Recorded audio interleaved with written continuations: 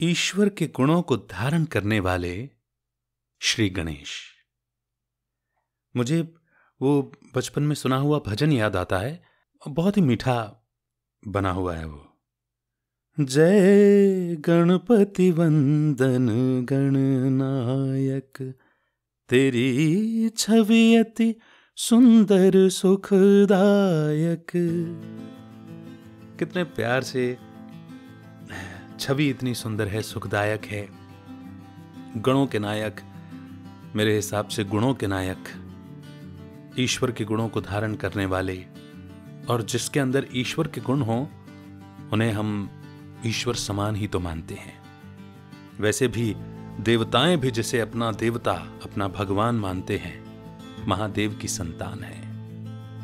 बच्चों में अक्सर पिता के गुण तो आते ही है ना? जरा देखिए इसे आध्यात्मिक दृष्टिकोण से। कि हम सब एक परमात्मा की रचना, एक ईश्वर की संतान। तो क्या हम आत्माओं में ईश्वर के गुण नहीं हैं? क्यों नहीं है? बिल्कुल हैं। ये जो हम एक दूसरे के प्रति सहयोग की भावना रखते हैं, दया की भावना रखते हैं, कोई घटना हो जाती है, हमारा दिल पसीज जाता है। ये सब अपनेपन की भावना के कारण है, क्योंकि हम आपस में जुड़े हुए हैं। क्यों जुड़े हैं? क्योंकि एक ही की तो रचना है। ईश्वर तो एक है। देवात्माएँ अनेक हैं, मनुष्यात्माएँ अनेक हैं, महात्माएँ अनेक हैं। परंतु परमात्मा तो एक है।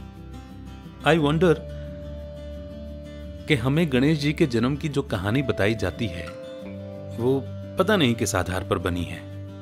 पर जब मैंने उसके स्पिरिचुअल सिग्निफिकेंस को समझा तो मुझे समझ में आया कि कितनी कितनी ज़बरदस्त लर्निंग है उसमें। अब जरा सोचिए, कि देवताएँ भी जिसे अपना देवता यानी कि भगवान मानते हैं, वो महादेव, जिनके लिए कहा जाता है कि वे तीनों लोगों का ध्यान करके, करने के लिए बैठे हुए हैं। और ऐसे ही एक बार वो ध्यान मग्न है, उनके पीछे माता पार्वती अपने मैल से एक बच्चे को बनाती हैं, फिर वो स्नान करने जाती हैं और उसे कहती हैं कि तुमको यहाँ पर पहरेदारी करनी है।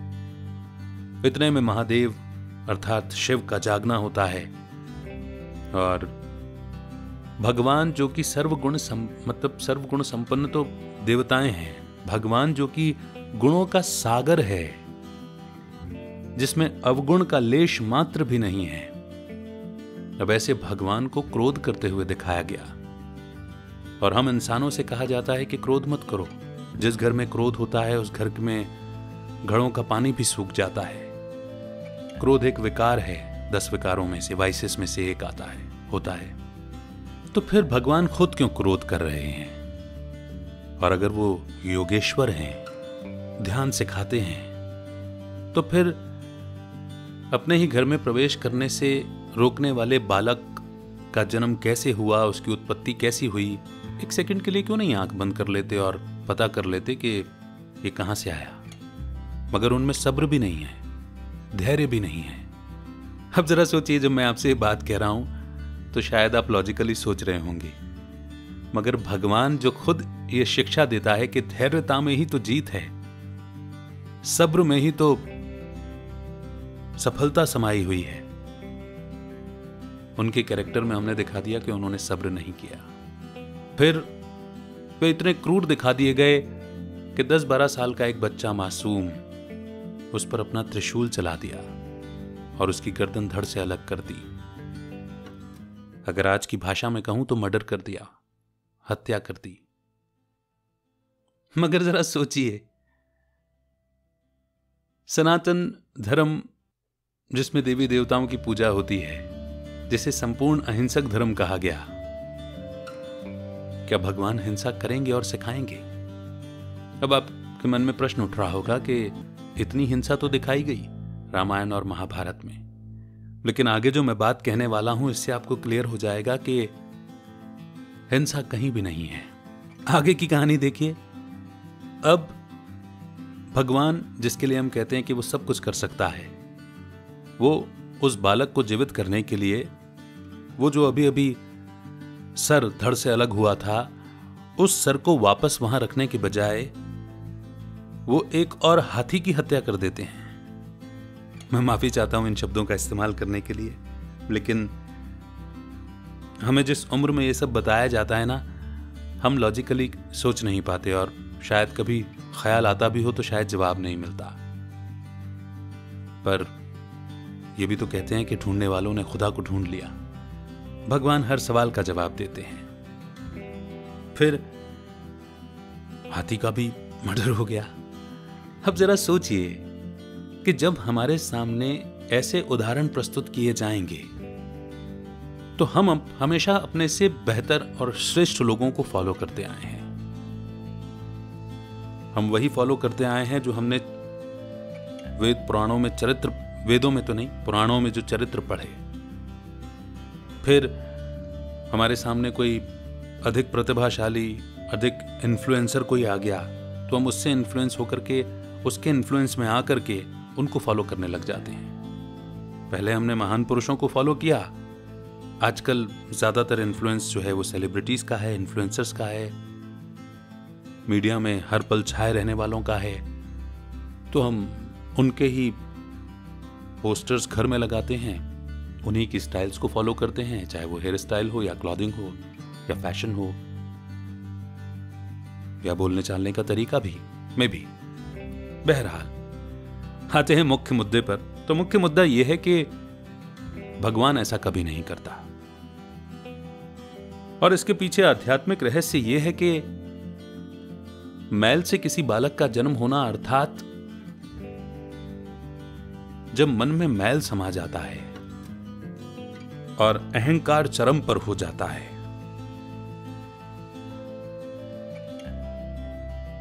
तो वो ईश्वरीय गुण जो हमें कभी शुरुआत में मिले थे इस सृष्टि के प्रारंभ में, वो कहीं ना कहीं छुप जाते हैं।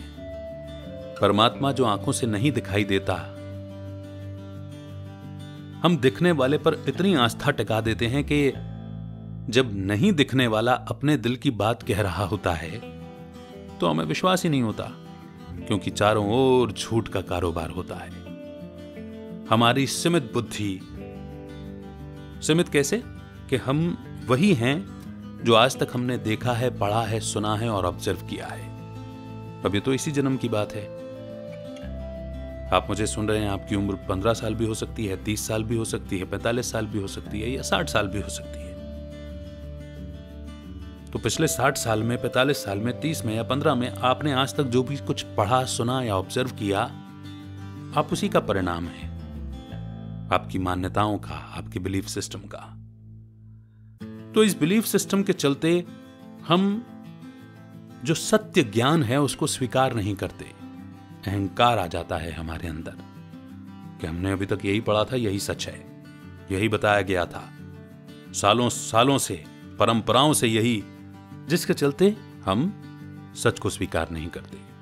फिर परमात्मा, जो इस सृष्टि का आदि मध्य अंत, यानी कि पास प्रेजेंट और फ्यूचर तीनों जानते हैं, त्रिशूल के रूप में वो हमें सृष्टि का पास प्रेजेंट और फ्यूचर बताते हैं। और जैसे ही हमें सृष्टि का पास प्रेजेंट, फ्यूचर, यानी कि मेरा पास प्रेजेंट और फ्यूचर पता चलता है कि मैं शुरुआत में क्या था, टर्निंग पॉइंट जब आया, इस सृष्टि के नाटक का तब मेरी क्या हालत हुई और आज मैं क्या हूँ, किन हालातों में हूँ?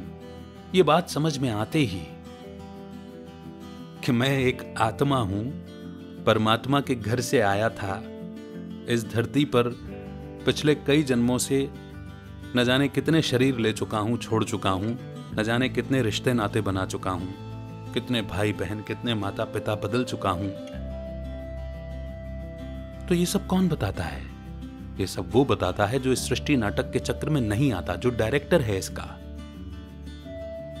तो जब ये बात पता चलती है तो सीमित ज्ञान का गला कट जाता है, यानी कि अहंकार का गला कट जाता है, और जब अहंकार का गला कट जाता है तो कुछ तो चाहिए ना। बिना धड़ का शरीर कैसे अच्छा लगेगा? तब लगता है एक ऐसे पशु का प्रतीक सर जिसके हर अंग में या हर प्रतीक में कुछ विशेषता समाई हुई है। जैसे बड़ा मस्तक, यानी कि बड़ी समझ का प्रतीक। छोटी छोटी आँखें, यानी कि सबको एक समान देखना, एक रूप में देखना। अलग अलग धर्म, जाति, रंग, रूप, अमीर, गरीब, काला, गोरा, मोटा, पतला, छोटा, बड़ा, ये नहीं देखना। ये देखना कि ये आत्मा है। और एक परमात्मा की रचना है। सूंड, यानी कि परखने की शक्ति जैसे गज, यानी कि हाथी क्या करता है? हाथी कोई भी चीज़ अपनी सूंड से उठाता है, पास तक लाता है, देखता है, खाने योग्य है तो अंदर जाती है, नहीं तो उछाल के फेंक देता है। तो यही परख कि कौन सी चीज़ मुझे अपनी समझ के अंदर ले जानी है, कौन सी नहीं ले जानी है, ये परख शक्ति इसीलिए बड़े बड़े कान, कि काम की बात होगी तो अंदर जाएगी नहीं तो सुपड़े समान हिला दूँगा, नहीं चाहिए। वेस्ट मेरे अंदर जाना ही नहीं चाहिए। एक दंत, यानी कि एक परमात्मा, एक बल, एक भरोसा। तुम ही हो माता पिता, तुम ही हो। तुम ही हो बंधु, सखा तुम ही हो। संसार तुम ही हो। है कि नहीं? और भी मतलब जितना भी कुछ उनके स्वरूप में दिखाया गया, क्यों उनको हेल्दी दिखाया गया, क्यों बड़ा पेट दिखाया गया हम इंसान हैं। न जाने कितने लोग हमसे अपने जीवन के राज साझा कर जाते हैं, अच्छे, बुरे। उन सारी रहस्यों को, उन सारी बातों को अगर सुन ली हैं आपने तो फिर अपने अंदर ही रखना। पेट का कच्चा नहीं होना। लंबोदर। है कि नहीं? हाथ में फरसा। सारे अटैचमेंट, मोह के बंधनों को काटने के लिए। मूषक की सवारी। मूषक यानी कि चूहा चूहा यानी कि चंचल। तो चंचल मन पर इतना बड़ा भारी शरीर दिखाया, उसकी सवारी कैसे हो सकती है? चूहे का क्या हाल होगा? लेकिन इसके पीछे राज है कि अपने मन पर सवार हो जाना। हमारा मन जो भटकता रहता है, जो बेचैन होता रहता है, जो हमें गलत रास्तों पर ले जाने के लिए प्रेरित करता रहता है, उस मन के दोस्त बनकर, उस मन के मालिक बनकर सेल्फ टॉक से उस पर सवार हो जाना। अब सोचिए, आपका शरीर कितना बड़ा, मेरा शरीर कितना बड़ा, मगर हमारा मन कितना सूक्ष्म, सटल दिखाई नहीं देता तो उतने बड़े शरीर के सामने वो छोटा सा चूहा सवारी दिखाई। हमेशा सिंहासन पर बैठेंगे, मगर एक पैर नीचे, एक पैर ऊपर। यानी कि ग्राउंडेड रहना, और ये भी याद रखना दूसरे पैर को ऊपर रख के कि मुझे इस दलदल में फंसना नहीं है, मैं तो इस सृष्टि पर महान कार्य करने के लिए आया हूँ। छोटे कार्य करने ही नहीं है। अब ये छोटे कार्य बिज़नेस वाले नहीं है। रोज़गार से संबंधित नहीं है। कार्यों में महानता। कि छोटा कार्य भी हो तो महानता की स्थिति से हो। सेवा के भाव से हो। और ईश्वरीय संदेश के रूप में हो। तो हर एक बात में स्वरूप में उनके विशेषता समाई हुई है। इसीलिए मोदक प्रिय है उनको कि जिस समय उन्हें यह जानकारी होती है तो उन्हें यह भी पता चलता है कि सृष्टि अपने किस दौर से गुजर रही है। तो आज देखें सृष्टि किस दौर से गुजर रही है। जब भी अति होती है तो अति हमेशा अंत की निशानी होती है और अंत मतलब कि बदलाव, अंत मतलब समाप्ति नहीं, हर अंत एक प्रारंभ है। और जब परमात्मा ये परिचय देते हैं ना कि आप एक आत्मा हो तो सारे भय दूर हो जाते हैं और सबसे पहला पहला जो डर निकलता है मन से, वो है मृत्यु का भय, मौत का भय। ऐसी निडरता आ जाती है, निर्भीकता आ जाती है। मगर अल्लड़ता नहीं आती, क्योंकि इसके साथ साथ कर्मों का भी ज्ञान मिलता है, कि जैसा कर्म करोगे, वैसे संस्कार बनेंगे, जैसे संस्कार बनेंगे, वैसा जन्म होगा। वैसे लोगों के बीच में जन्म होगा। अगर एक ऐसे घर में जन्म हो गया है, पिछले कर्मों, पिछले जन्म के कर्मों के परिणाम स्वरूप कि जहाँ पर धन इत्यादि कम है, तब भी अपना स्वभाव राजाओं के समान रखना। राजाओं के समान, यानी कि रॉयल। विलासिता में जीने वाले नहीं अयाशी करने वाले नहीं। सबको सम्मान देने वाले, सबको अपना समझने वाले, राजा अर्थात प्रजा पालक ऐसे राजा।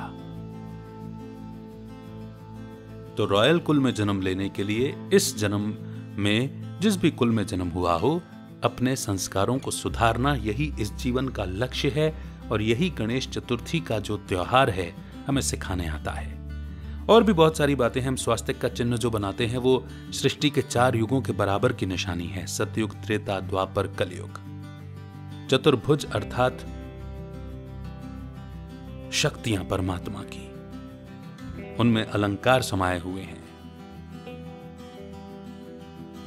तो ये है गणेश चतुर्थी का स्पिरिचुअल सिग्निफिकेंस और इस स्पिरिचुअल सिग्निफिकेंस को समझने के बाद मैं परमात्मा को, भगवान को किसी की हत्या का दोषी नहीं मान सकता। क्योंकि इस ज्ञान के बाद ही ईश्वरीय गुणों को धारण किया जा सकता है। ईश्वर जो सबको एक निगाह से देखता है, जो सूरत नहीं देखता, सीरत देखता है, जो प्रेम का सागर है उसके पास क्रोध का लेश मात्र भी नहीं है। अगर उसने क्रोध कर दिया तो फिर हम कहीं के भी नहीं रहेंगे। जो शांति का सागर है, जो सुख का सागर है, वो सुख का सागर हमें सुख करता, सुख देव बनाने के लिए प्रेरित करता है, अपने ज्ञान के माध्यम से। ज्ञान सुनाकर। कब सुनाता है, कैसे सुनाता है, ये सारी जानकारी के लिए मैं आपसे निवेदन करूँगा कि आपके जिस भी गाँव, शहर, महानगर में आप रहते हैं, वहाँ के नजदीकी राजयोग सेवा केंद्र में ज़रूर पहुंचें और डिटेल में इस नॉलेज को सीखें, समझें और सेवन डेज़ वन डे पर आवर का राजयोग तो निशुल्क सिखाया जाता है, यानी कि फ्री ऑफ़ कॉस्ट सिखाया जाता है। अब जो चीज़ फ्री मिलती है, हम उसकी केयर नहीं करते, परवाह नहीं करते। लेकिन ये परमात्मा की मजबूरी कहिए अरे या प्यार कहिए कि वो आपसे फ़ीस चार्ज नहीं कर सकता। मगर आपको यह समझदारी दिखानी है कि अगर परमात्मा फ़ीस चार्ज नहीं कर रहा तो मुझे क्या करना चाहिए? मुझे ये कोर्स लेना चाहिए या नहीं लेना चाहिए? अपनी लाइफ को बेटर बनाना चाहिए या नहीं बनाना चाहिए? हमें अपने लाइफ के चारों एस्पेक्ट्स को इंप्रूव ज़रूर करना चाहिए। फ़िज़िकल फाइनेंशियल रिलेशनशिप और स्पिरिचुअल और स्पिरिचुअल एनर्जी जब बढ़ने लगती है तो बाकी तीनों एस्पेक्ट्स भी इंप्रूव होने लगते हैं। अगर उन तीनों एस्पेक्ट्स में कहीं पर भी प्रॉब्लम चल रही है तो यहाँ से ऊर्जा को आसानी से बढ़ाया जा सकता है। तो समझें इसे और एक नई शुरुआत करें गणेश चतुर्थी पर। हैप्पी गणेश चतुर्थी। मुझसे जुड़ने के लिए डिस्क्रिप्शन में दिए हुए टेलीग्राम ग्रुप को ज्वाइन करें और सारे अपडेट्स वहाँ पर आपको मिलेंगे। फ़िलहाल लेता हूँ इजाज़त, रखिए अपना बेहतर ख्याल। अमित का नमस्कार। जय हिंद, जय भारत।